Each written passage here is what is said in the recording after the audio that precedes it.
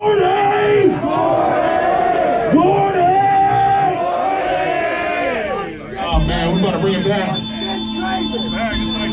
it's great. I heard you say that.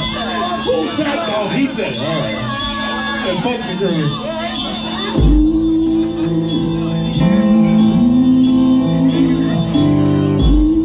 Put your horns up!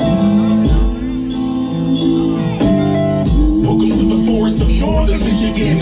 Off in a cabin in the back of families living in. The daddy's happy to be back. He's been in prison since. Oh, Billy Jack came out of shack, but now the kid is dead.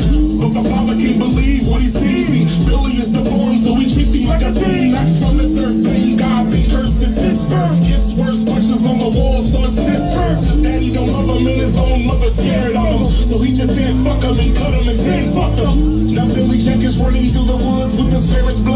his feeling fucking good to be free. But now Billy's thirst has increased. Now he lurks by a church, goes berserk on a beat, and he's searching for teenagers who's camping out. He's only working with three razors. He's blacking out. Somewhere out there, yes, in that forest, well, lives a creature. Eats the corpses of all his papers. Yeah, beats and tortures and wheels. This is a legend of Psycho Bill.